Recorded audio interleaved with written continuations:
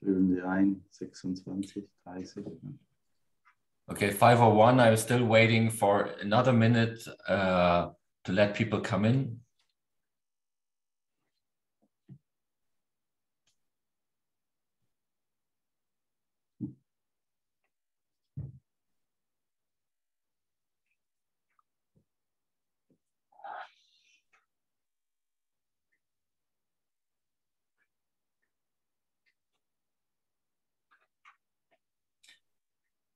Okay, so it's 5.02. We reached 100 participants.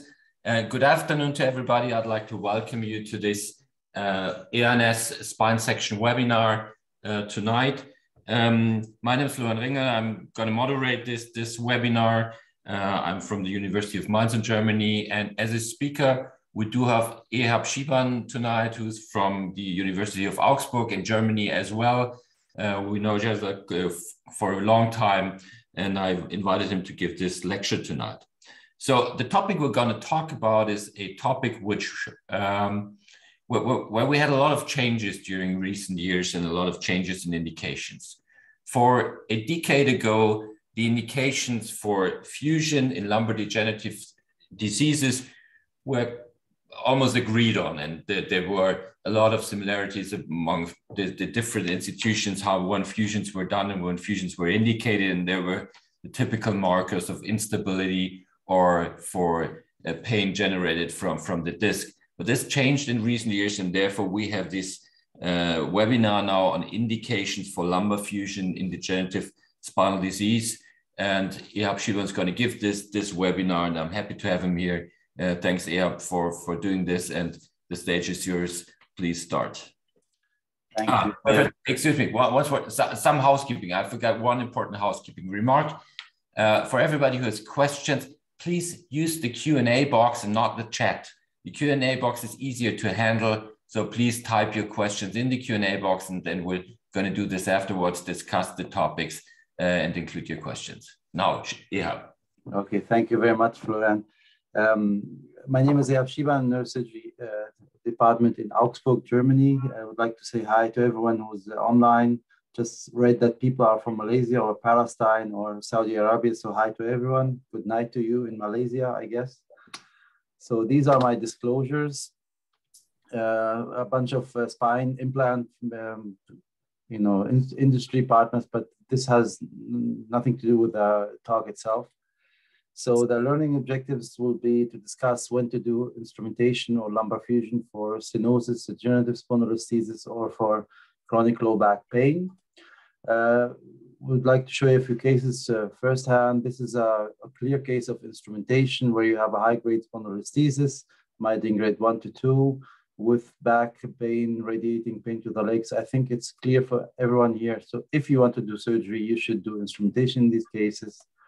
Uh, the, it's different in cases where you see a, a, an older patient with neurogenic claudication, uh, no other comorbidities. He has a slight stenosis, 4 5, slight degenerative changes, 3 4, 4 5, no real stability on x rays.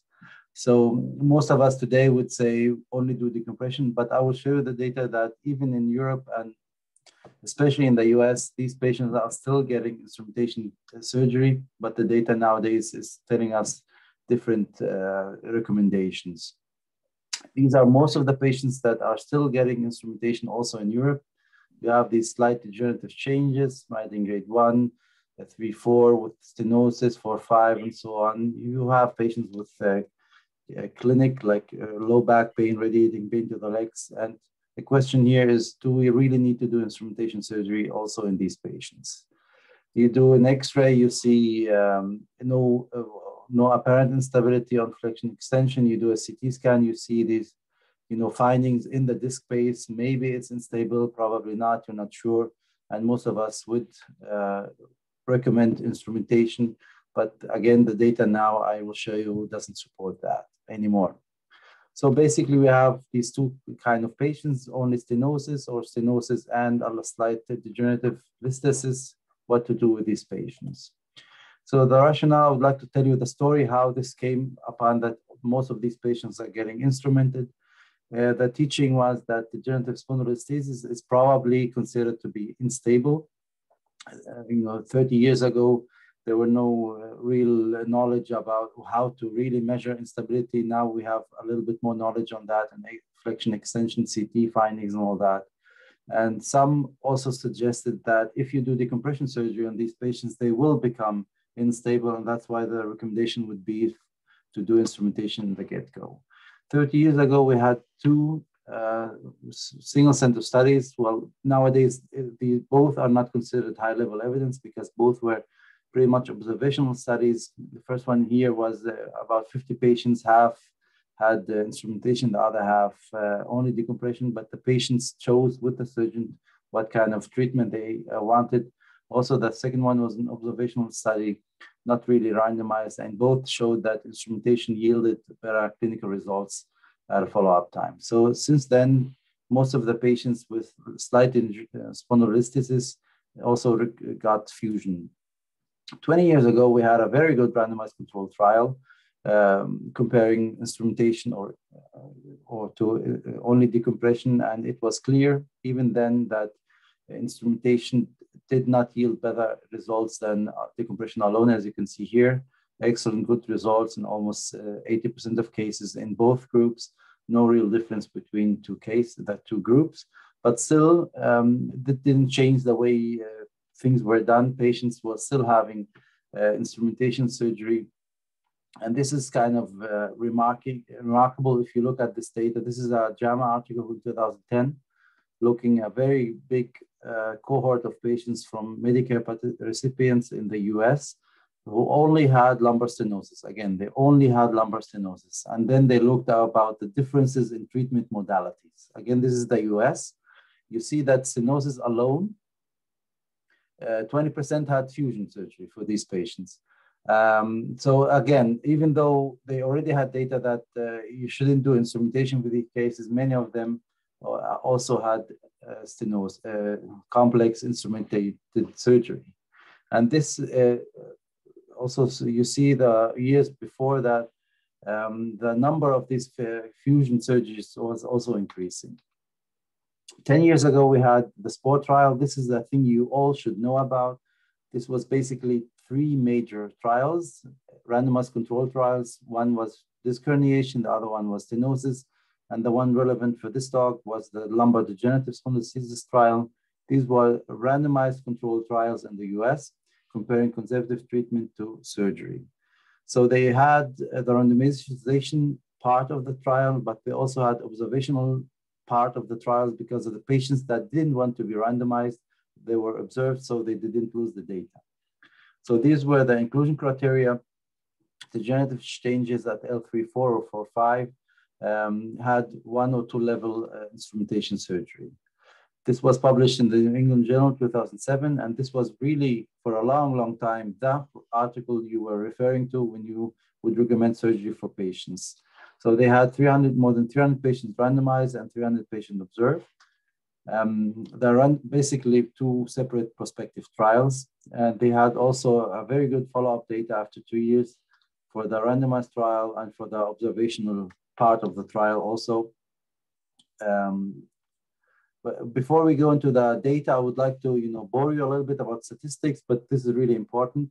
You need to understand the difference of intention to treat or as protocol um, to understand the data I'm gonna show you. So do, please stay online, don't click out. So let's say uh, you have two treatment options, surgical or conservative treatment. And the problem of crossover is a big issue in randomized controlled trials. Let's say one of these patients is unhappy with conservative treatment, otherwise he wouldn't cross over, and he goes to the other uh, treatment arm. What to do with the data? Basically, you can do three things. Either do not analyze, it's called per protocol. The problem here is that if you do the per protocol analysis, you will see that conservative treatment is 100% effective and surgical treatment 75% uh, uh, happy patients. But this is not true because the patient was here unsatisfied with the treatment and went to the other treatment arm. So that's why it's per protocol not very uh, accurate. The thing you read most is intention to treat analysis. Here you analyze the patient as they were randomized to, even though if this patient was randomized to conservative treatment and went surgery, he will be analyzed as a patient after conservative treatment. This is pretty much the best method to analyze these kind of studies because here you see uh, conservative treatment is 75% effective and surgical arm is 75% effective, which is the most accurate way to look at this data. If the patient crosses over here and he's still unhappy, then you have the analyze as treated or as treated analysis. Here you see that this is good for the surgical treatment. So three from five are, um, you know, happy, but this is not an accurate um, analysis of the conservative treatment because here you have three uh, 100% satisfied patients with, which is not true. So the best way to analyze this data where you have randomized trial where patients will cross over is to the intention to treat analysis so that you can have a good analysis of both treatment groups.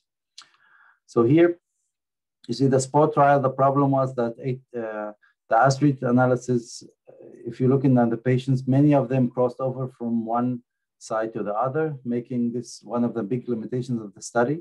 So if you look at the intention to treat is uh, 159 versus 145, but many cross over. So the as treated analysis was much different. Many of the patients that were randomized for conservative treatment went to surgical treatment. And here you see the big differences. The black lines are the as treated and the white lines as intention to treat. So basically the randomized part of the study was negative. There were no differences between both groups. If you look at the data here, the white lines, the black lines showed a big benefit for surgery. But again, here you have a little bit of the as treated analysis, which is not very accurate as I just showed you. So basically the better analysis, the intention to treat analysis came out negative. Uh, this, this was, uh, you know, um, SF36 pain scale, SF36 physical component scale, and ODI, all of which had the same analysis. The white lines were not different between both groups and the black lines, the as treated analysis showed benefit for surgery. So that was the problem of um, the selection bias with the patients that were only observed. The second part of the uh, SPORT trial. Here, the patient chose their treatment. And obviously, if you choose a treatment, you are more happy with that. You chose surgery, so you are better off with surgery, basically. But here, the observational part of the SPORT trial showed that surgery was much better for both all the same you know, outcome parameters. So the limitation again for the randomized controlled trial, uh, many of them went crossed over. So the, the results were um, you know, discussed very much in our you know, yearly meetings, but still this was to that time the best uh, data we had.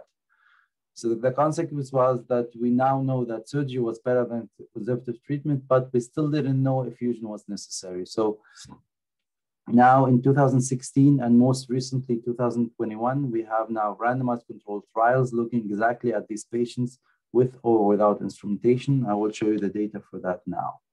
The first one was the SLIP study, spinal laminectomy versus instrumented pedicle screw fusion. This was a US study published in the same journal as the other study I'm going to show you now. This is a five center randomized controlled trial. They only enrolled 66 patients. One of the major limitations was that most of the patients were from a single trial. This was mostly very famous spine surgeons. But again, uh, a randomized controlled trial, 35 assi assigned to fusion only to decompression, sorry, and 31 patients were for laminectomy infusion. Uh, so six is randomized at four-year follow-up, 26 were still available after the decompression alone, and 19 decompression infusion. The inclusion criteria were, you know, the Meyerding grade one spondylolisthesis with consecutive stenosis, but they excluded uh, apparent instability. So here you see no real difference between both groups decompression alone and fusion group. No significant uh, difference statistically. Either SF36 also not a real significant difference in the data itself, but there was a difference in uh, the rate of reoperation. The patients who already or only had decompression alone had a higher rate of revision surgery up to 34% compared with fusion group alone.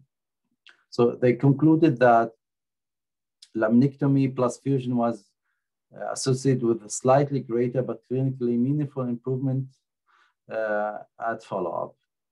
The limitation was that almost 80% of these cases were from one site. So it's not, it's hardly a randomized control, multi-center randomized control trial. And um, one of the arguments was that they had a high dropout rates. I don't think so for a four-year follow-up, 74% and 61 is really not that bad. So this is not a real limitation as you read in mon- mon- uh, some of these editorials. Um, the problem is that there was no real statistical difference between both groups. So I don't, you know, uh, but, um, I'm, I don't believe this observation that uh, this was a, a, slight but meaningful clinical difference. They also say that uh, if you look at the baseline characteristics of the patients before surgery, there was the patients were better off in the fusion group from the get-go. So they had a better clinical outcome uh, in, in average before surgery. And they write that also in the text itself. It's a marginal, non-significant difference uh, in the baseline variables. Some of the difference in the observed outcome might be attributed to the baseline differences rather than to the randomized treatment. So they also, uh, although they concluded that fusion is better, they also say in the, in the journal itself that this is not really absolutely sure that it's because of the instrumentation itself. Uh, obviously, patients that only only had decompression came back with back pain. You would suggest fusion, fusion them. If patients already had fusion, there's no real further options. You don't see any, you know, adjacent disease or what have you. So these differences are also uh, um, explained by, you know, common sense uh, indications for follow-up surgery if the patient comes back with back pain. The other uh, New England Journal study, the better one from Switzerland, randomized control trial, seven Swedish centers, 250 patients randomized almost. Here they're randomized for fusion and decompression or decompression alone. And then with us, um, a group analysis, they divided that into patients with degenerative spondylolisthesis uh, or without uh, spondylolisthesis, also for uh, stenosis alone. So again, randomization was very good in this um, study, fusion or decompression. They had 111 per protocol analysis and 117 in the decompression group alone. But here, to make a long story short, there were no differences between groups in patients without uh, degenerative spinal, uh, only spinal canal stenosis, no difference with or without uh, instrumentation and patients with degenerative spondylolisthesis also here, no clinical difference between both groups. So no real benefit for instrumentation surgery, even in these patients. So they concluded that in patients with lumbar stenosis, with or without degenerative spondylolisthesis, you don't need to do instrumentation surgery. Limitations here was that the degree of spondylolisthesis was not really uh, well documented. Uh, they didn't do flexion extension x-rays to rule out apparent instability and the type of decompression varied. So people were either doing one-sided decompression, hemilaminectomy, or laminectomy. Um, and we still don't know what was the threshold for reoperation. It wasn't really created, uh, stated in the paper. But again, the key home message was from the, this paper also that you don't need instrumentation for that. Now, 2016, we had a Cochrane uh, systematic review looking at all the data to that time, the surgical options for lumbar stenosis. And here again, if you compare decompression alone versus instrumentation, there's no added benefit for lumbar instrumentation in these patients also. The last data we have now is from the New England Journal from last year. Also a very well conducted randomized controlled trial, 16 surgical departments, stenosis and listhesis, and even 20% of these patients had a slippage of more than three millimeters even. So these patients were randomized to fusion and decompression or decompression alone, again, like the other studies before. Um, at follow-up, they had 106 patients per protocol uh, analysis after um, decompression only and 110 fusion and decompression. And here again, this was a non-inferiority study trial again, but, but, also there's no difference or no added benefit for instrumentation, uh, regardless of how, of how you analyze that. So here once more, no real benefit for instrumentation. The clinical evaluation also didn't show any differences, as you can see here, between decompression alone and decompression and instrumentation, no difference. Reoperation rate was slightly higher in the decompression alone group, 12% versus 9%, but this was not statistically significant. So here they concluded that in a two-year follow-up, there was no need for, uh, no added benefit of instrumentation, even in patients with uh, um, spondylolisthesis of more than three millimeters. So the conclusion was you have the SPORT trial. It was profusion uh, back then. The RCT was basically negative, but the observational arm was positive. The SLIP trial from the US it was profusion, but again, I showed you that there was no real data supporting that, even in the study itself, with many limitations. The Swedish study was contrafusion because there were no clinical added benefit for instrumentation. The Cochrane review, looking at all the data until then, was also contrafusion, and the latest data from the NORDSTEN study was also, was also contrafusion.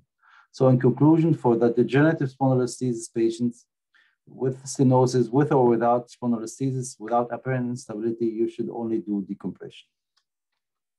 So a few more slides about chronic low back pain. Uh, patients, they are slightly different patients uh, than the one I showed you until now. So low back pain is one of the um, more, highest uh, uh, illnesses in the world with uh, causing living or years living with disability.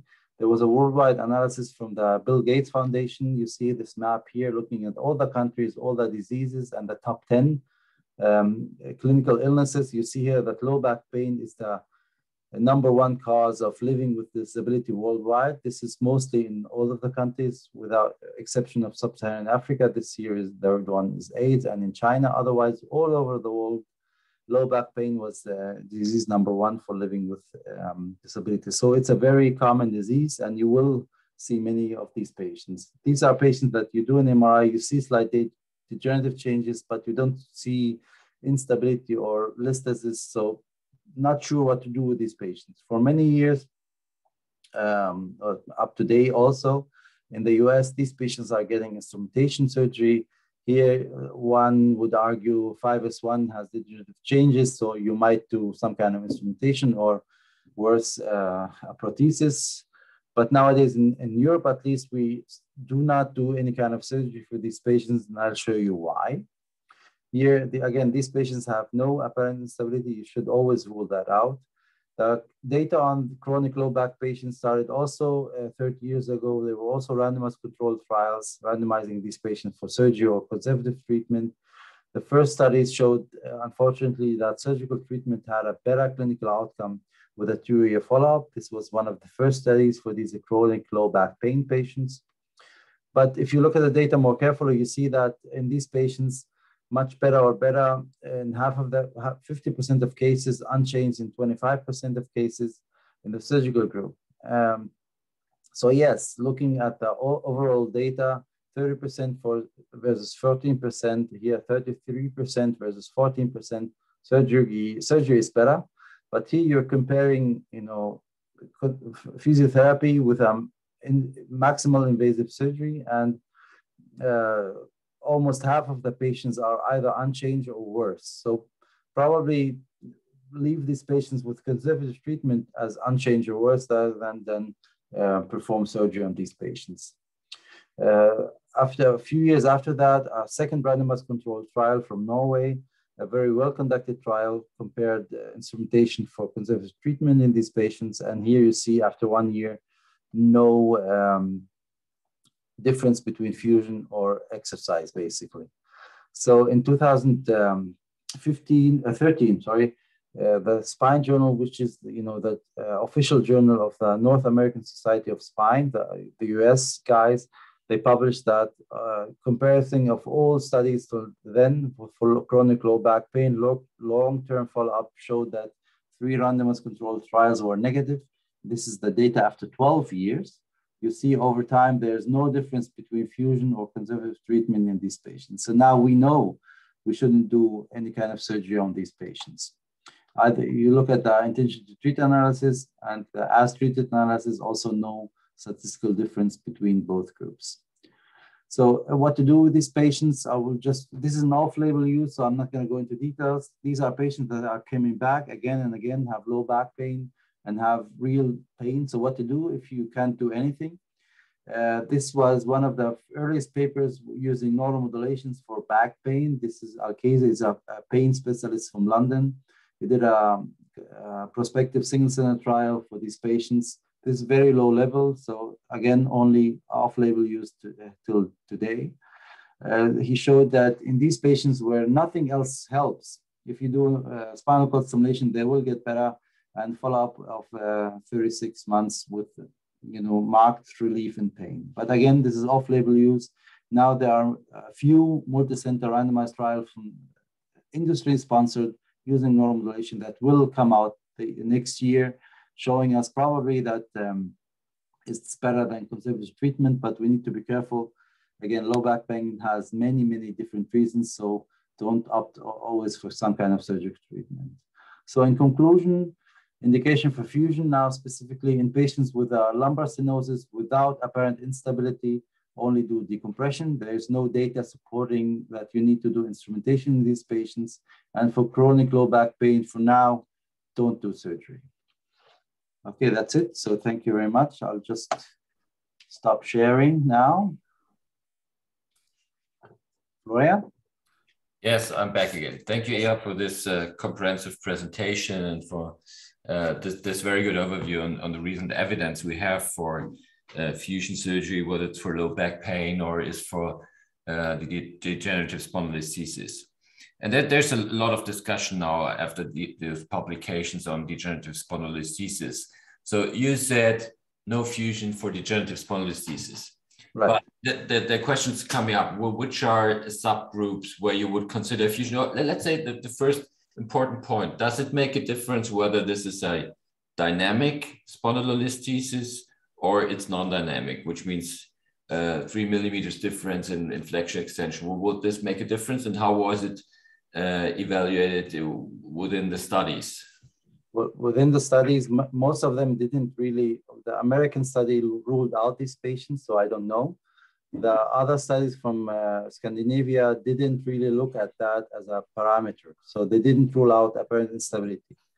What we do in Augsburg is we always do flexion extension. So if they have instability or you know movement of more than three millimeters, I would still recommend for some kind of instrumentation. Nowadays, uh, a semi-rigid instrumentation.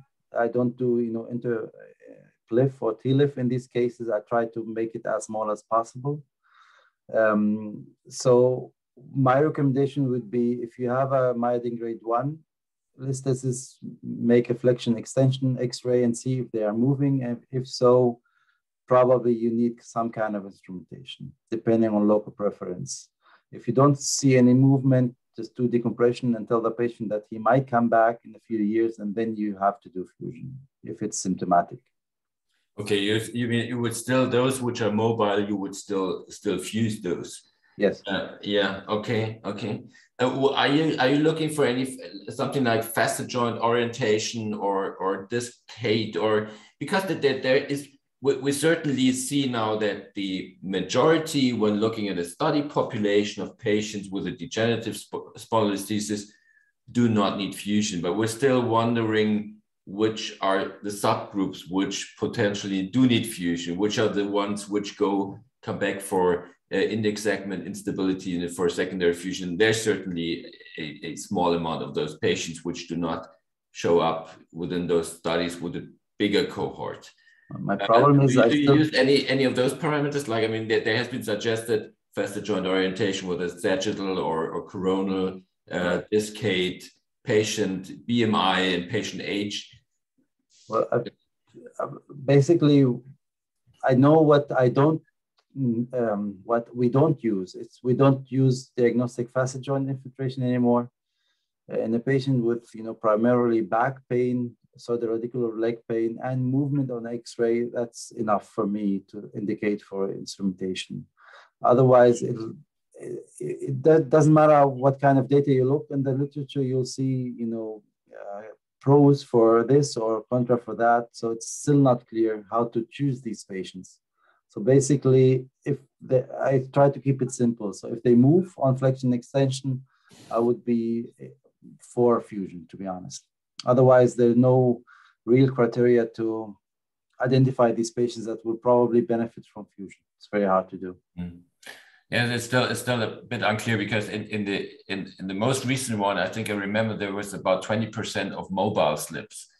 Uh, yeah. But there there's no there's no there's no subgroup analysis as was not statistically powered to look at this group, and therefore they don't know whether this group might be the one which, does need fusion. But when looking at the whole cohort, there's no difference. No. Unfortunately, we, we don't have the data on the you know reoperation patients.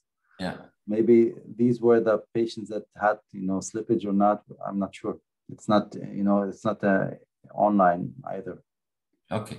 Now there, there are several questions in the Q and A, and the, the, first one which came in, which uh, we, we, can discuss, on was on, uh, on the decompression, whether it was really laminectomy in slip or laminotomy. And th this is the question I, I would add on and, and say that does it make a difference from from the, the clinical, from the functional outcome, from the stenosis symptoms of the patient, whether you do a laminectomy or do you do a less invasive laminotomy? Uh, and what, what's the difference in, in uh, stability? For clinical outcome, I don't think it makes a difference, but I think it does make a difference if you need re or, or they become if they become unstable afterwards. There was a very good study from uh, Claudius Thomé now a few years back, looking at single or bilateral decompression or unilateral or bilateral decompression with undercutting, and also um, uh, no difference. So we know that if you do it from one side and do the undercutting, it's as good as bilateral decompression. Uh, but I think if you do a laminectomy, the chance of having uh, revision surgery a few years back is maybe a little bit higher.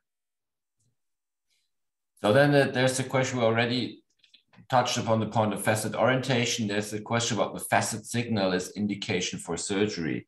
Uh, that, do you look at facet signal? Does it is a facet joint effusion a clear indication of instability where you need fusion or uh, something where you well, in low back pain? Does it make a difference whether there's a facet signal or not? Or how what, what would this mean for you?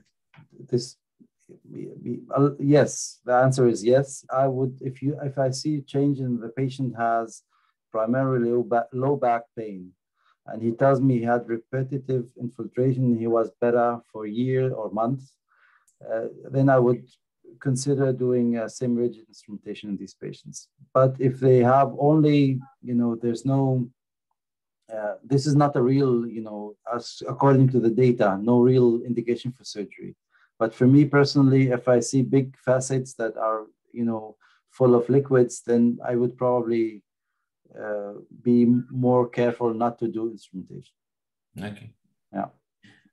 Another question from a Q&A. Do, do you consider high BMI uh, above 35 something that needs to be addressed before surgery, uh, whether to fuse or not to fuse? And maybe would you, this is something I had recommend to a patient, right. uh, you have a BMI above 35, you would not go for surgery. You would recommend having uh, some, some weight loss before you take this patient to surgery?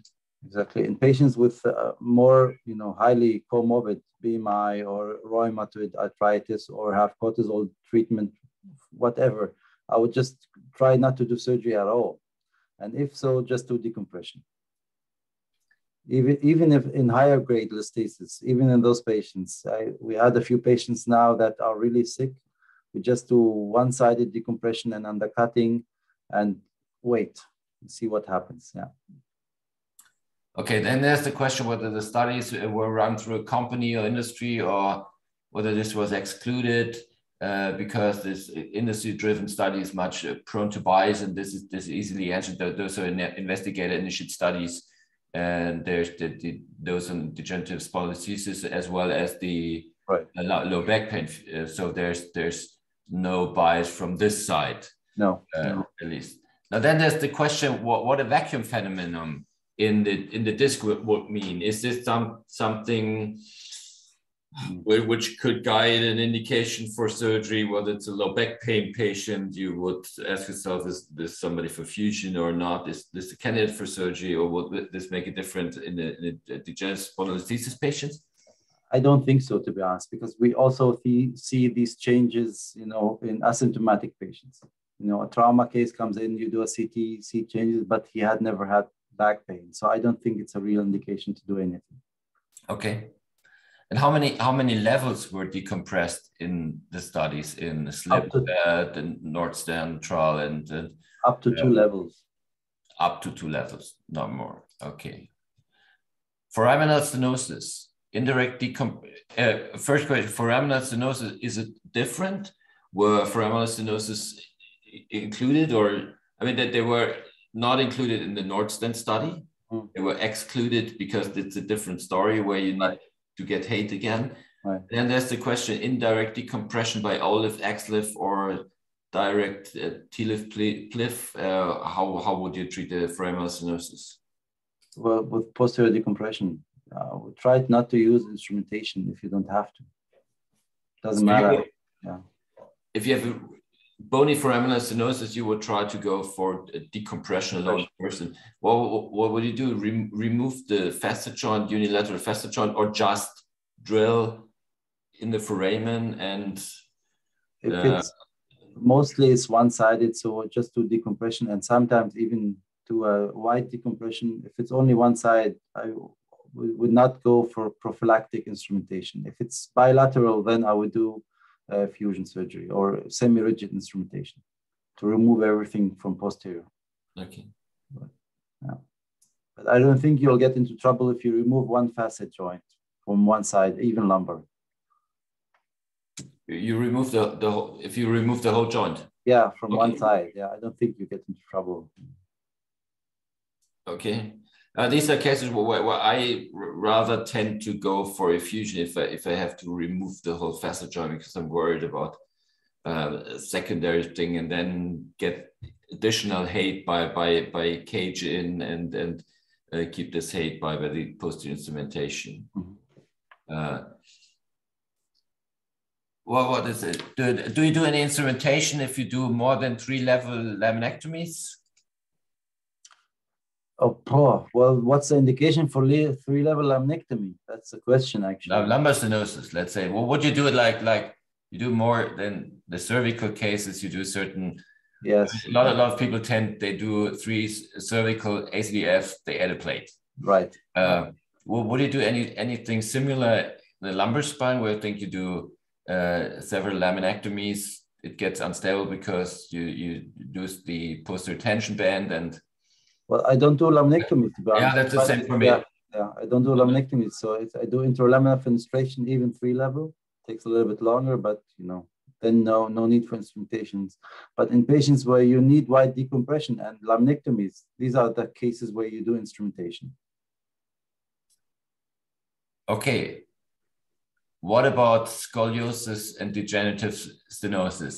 This is a very, very, very, a very open question for yes. these are patients that were not included in these uh, studies. So after a few years of doing degenerative scoliosis, I know that if I'm, I don't have to, I don't want to do them because com complication rate can go up to 50% in the five to seven years post-op for time. And this is not only data from Augsburg, this is you know data from the deformity groups and all the studies we have. So nowadays I do decompression only if if it's not really you know a horrible scoliosis, and then patients come back after a half a year or a year and they get spinal cord stimulation. That's the way I'm kind of trying to change that. For lumbar scoliosis patients. Degenerative scoliosis. With uh, low back pain. Right. So I do decompression, see what happens if they are better off, but you know still have a lot of pain, low back pain, then I would rather do um, spinal cord stimulation. First of all, they already had decompression from me, so it's a failed back surgery syndrome per protocol, mm. and you are allowed to do spinal cord stimulation. But I don't do, I try not to do at least these T4 to S2 instrumentation and decompression in an 80 year old degenerative scoliosis. I just don't believe but, it. But that, that's a difference with what you mentioned 80 year old yeah. I think for for degenerative scoliosis, degenerative lumbar scoliosis, uh, the the of course, like in every other surgery, the patient selection is paramount. That's the, the most important point. And um, you mentioned that the, the, high number of complications, the high number of reoperations, um, but uh, we do we do know all this that, that there's a 40% complication rate, 25% reoperation rate within uh, one or two years. But on the other hand, if you have a good patient selection on those patients, you have after these two years and even after five years, um, a very high number of patient satisfaction. The one that survived. Huh? The ones that survived, yes. And, that, and that's um, that's certainly not the 80 year 80 year old right. right. and it's not it's not the patient you you you select because he's complaining of some back pain while playing tennis uh, this is the patient who's really suffering from low back pain from his lumbar scoliosis uh, in a reasonable age group which have a have a rocky road to getting good but which do get quite good and uh, for those it's worthwhile doing doing those those even long fusions. I, I try to stay short, and of course, we all know those those pictures from T4 to Ilium, and which is the uh, I think should should be very very uh, selected case where, where you do this this large ones. But but a regular do for selected scoliosis patients like three, four, five segments, uh, lumbar fusions, and and they do if you select them well have a good outcome or can have a good outcome. Right. Therefore, of course, there's a role for if you have an 88 year old who can't stand surgery. Yes, you have to find some other way, decompression plus some stimulation, maybe. Uh, but is, is it proven that it really works for those those scoliosis patients? No, uh, Peter Vajkoczy had a publication a few yeah. years back, which was positive. Uh, but uh, it's not, you know, high level evidence. We still don't know. But it's a it's an alternative to do something with a patient that you otherwise wouldn't treat. So decompression and then spinal cord stimulation after a while seems reasonable. We have only a few cases here in Augsburg, but we still need more time and more patience. Yeah. Now, if, uh, what if a patient was not unstable before surgery? What is the probability that he she may become unstable post-op? Are there any pre-op indicators um, I think those are the things we, we discussed as which are need to get analyzed in more depth, like facet joint orientation, disc height, weight, age, right. number of levels, which are which are still unclear. And you you find some. The, problem is that the coming many publications looking for predictors of secondary surgery for instability. Uh, that they everybody tends to look at a different set of of parameters. Ones do look at sagittal balance, the other one at paraspinal muscles, and the, the next one on facet joints and so on. And, and they always, always have a good combination, but not the, the full image of the patient. And um, I think that there's some some AI, AI, AI, studies going on uh, trying to extract the whole patient information to to find those predictors of a secondary instabilities. Uh, there's nothing which is which is completely clear. Well, my problem is that this will also become more apparent in the next months or years. The problem with AI now is that it's mostly mostly driven from industry. Now, I would be really careful for a software or a computer from, let's say, a company that tells me with their AI methods, you need to do from T10 to S2 because they want to sell screws. So I'm not, you know, saying these are like evil people and trying to sell implants, but it's hard enough for us now to decide how many levels to do in some cases. And if the company has a new software that is telling us what to do, I'll be more careful. Okay, well, what is the indication of monosegmental fusion after disc surgery with postoperative failed back surgery syndrome?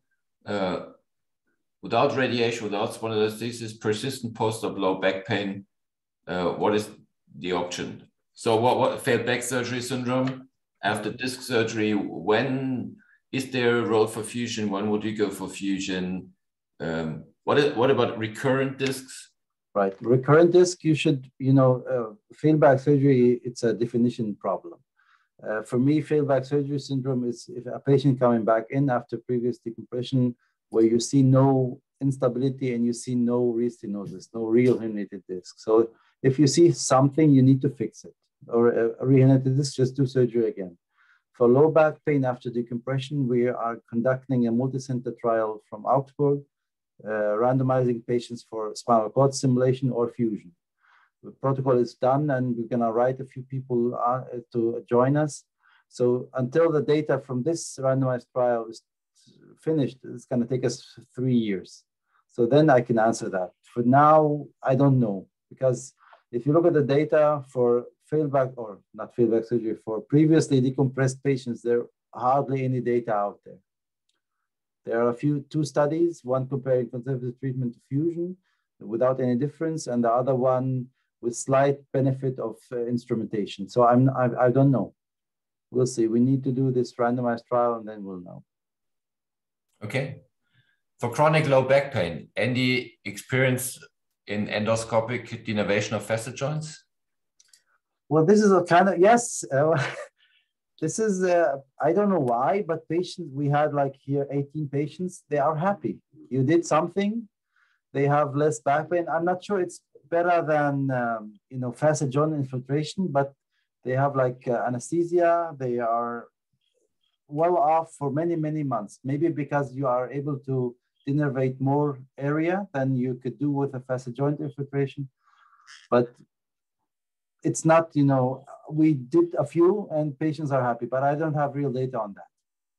No, what's what's what's the different achievement you get when comparing this to just just a closed denervation, percutaneous denervation? I think you are able to make more area. The thing is, um, monopolar of the endoscope. It's much bigger than you know uh, a needle you use normally for uh, radio frequency. Yeah. Yes, maybe it's that's different, but it's still a uh, you know real surgery in general anesthesia. Uh, I don't have a real answer for that. We had the system here when I came here, and a few patients came back and wanted this again because they were pain free for a year or a year and a half. So we did it again, but I don't have any real data on that. Okay. Yeah. Okay. I think it's, it's a quite, quite controversial whether this makes a difference or not, and what, what kind of a difference. And yeah. I, am not sure, but you know, the patients wanted. Uh, they said that they had the radio frequency a few times percutaneously, and when they got this endoscopic one, they were very happy for more than a year. Okay. Well, which which type of patient? How do you how do you uh, get the indication for doing an endoscopic? uh, facet denervation, you what, what do you ask for? Do you ask for two times positive response to a, a local anesthetic uh, plus uh, steroid infiltration or uh, again i don't i don't like this procedure because i don't really believe in it so i don't do primarily indicate this for the first time all the patients i did were patients that already had this for my time and came back for it to be to get it again. So I'm not an expert on the data and I wouldn't recommend it as a primary okay. treatment. Okay, good. Yeah. Uh, okay, another question. If you do indeed need instrumentation, do you perform a posterolateral fusion uh, or interbody instrumentation or both and why? Again, sorry, the question again, because I read now. Poster, posterolateral fusion or interbody uh, fusion? Uh, well, or depending both. on the for degenerative, uh, depending on the degree of instability, if you have uh, normally we do a PLIF. If you need to do decompression, the easiest way to do a, pl a PLIF cages on from both sides. If you need more uh, area, then you do have to do a lateral approach. I'm just kidding. I'm sorry about. I was reading the last comment. Vajkoczy is a vascular neurosurgeon and not vertebral column surgery. Vajkoczy is the president of the German Association of Spine Surgery. So he, he's a really good spine surgeon as well. Okay. Uh, what do you mean by semi-rigid? Um, what is it? it's you know the so-called dynamic instrumentation. These are a few companies that either have a PEEK rod or the screw itself is uh, semi-rigid, which allows a movement in only one axis. So it, some would say, say it's a slow fusion device. It's a semi-rigid instrumentation. We use we have a German company that has a good screw, but there are also different uh, ideas, you know, um, of semi-rigid instrumentation. Okay. Um, what about progressive back pain osteochondrosis patients? A difficult question. Difficult definition, yes. Well, what is, I mean, th those are the cases where we, we know the majority of low back pain patients uh, do not, are not better uh, whether you go for fusion or you go for for conservative therapy. Right. But again, we're, we're, we, we all have the feeling there's, there's a, a subgroup of patients which do benefit quite well from fusion, but it's still not um, completely identify what, what this subgroup of patients is and how we should select those patients and what the predictors for, for a good outcome are. Uh, that this is at least my interpretation at the moment, and I think uh, this this is what the question touches. What what is osteo, lumbar osteochondrosis or the degenerated disc? uh, who's a candidate for surgery, it's, it's still not really clear. Same here. Okay. Um, so what, what else do we, now I think we, we almost answered all questions. And there's, there's one more about adjacent segment disease rates in fusion patients. Maybe you could comment on this. Adjacent disc disease? adjacent segment, adjacent disc, yeah. Awesome. Well, yeah, if you if they are symptomatic and they have claudication or back pain and you have a clear sign of adjacent disc disease, then you should go for surgery. Okay. Right. Now we have one on sagittal balance for patients presenting with low back pain and no significant abnormality on MRI. Is it worth performing a whole spine X-ray to assess sagittal balance? Does correction of sagittal balance improvement of lumbar lordosis, etc., help these patients? No. I just say no to you know help a few patients avoid surgery, because even with patients that you have clear um, compensatory mechanisms and changes in the lumbar spine and have clear SV of more than six centimeters, we still don't know if there is still no randomized controlled trial looking if you need to treat sagittal balance or not we know that sagittal balance correlates with, or you know, if you, you still have unbalanced patients, they, this will correlate with mechanical failure after all, after a few years, uh, screw breakage or rod breakage, but it doesn't correlate with clinical outcome. So only for, you know, if you have low back pain and sagittal imbalance, I don't think you should be thinking of surgery if you don't have any stenosis or listhesis. Okay. Let me let me just check what we have. Osteoporosis effector against or for instrumentation. Try not to do instrumentation. That's you know the easy answer. If you do instrumentation, what what if you need to do an instrumentation in osteoporotic patient, what, what do you do to to avoid or to reduce the number of screw loosenings, implant failures? I, I, in these cases, I use a semi-rigid device, a dynamic instrumentation. In osteoporosis patients? Yes, cosmic is the, the main indication. Or if you have to do rigid, you use you use uh, then it's cement augmentation or right.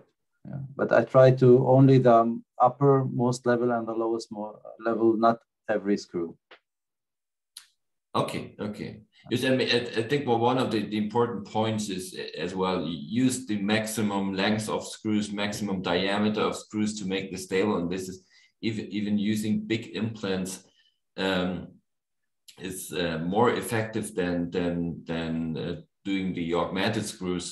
Uh, and I would be rather uh, not reluctant, but, but be careful with those, augmentations as you can do harm with this as well as the, the study could show that there's a lot of uh, cement leakage uh, with significant problems. So I'm getting a bit um, careful with, with doing the, the augmentations in, in those osteoporotic patients. Try to get maximum length maximum diameters of screws in. Uh, there's still questions coming in. Uh, let's see. Well, there, well, we have uh, indications from T10 to pelvis fusion in degenerative cases. Uh, I mean, this is what we touched. This these are usually the uh, scoliosis, degenerative scoliosis patients, where this is an indication. If you have a lumbar degenerative scoliosis, then T10 to pelvis uh, can be an indication. Uh, chronic low back pain, no neurological deficit, MRI showing L3 4 disc prolapse, conservative or operative modality? Conservative. Conservative. This is just back pain. Right. I think this this goes more towards the side of conservative. This is the, the low back pain degenerative disc problem. Yeah. Um, there's another one in Okay. What do you think about lumbar epidural injections for low back pain? I not much. I, I don't do that, and I don't think it's like a, uh, well. If you if you have good success with that, okay. But uh, I don't think it's a you know um, a treatment modality for a long term result. You just see the complications of those. Yeah. Okay. Um, no, there are only some some minor questions left. We we can we can answer uh, offline, uh, and I think we we we had a very nice discussion where we uh, almost have done this this one hour. We were limited to, and uh, yeah, thanks again for for this nice uh, comprehensive presentation and the the discussion, the extensive discussion. Thanks for all your comments. Uh, thanks for everybody who joined us. Thanks for participating. We had almost, or I think we had at one time point we had 200 participants, which is quite good. Thanks for joining us. Thanks for being here, and have a nice evening, everybody. And see you again in one month for the next spine section webinar. Thanks a lot. Bye bye. Bye bye.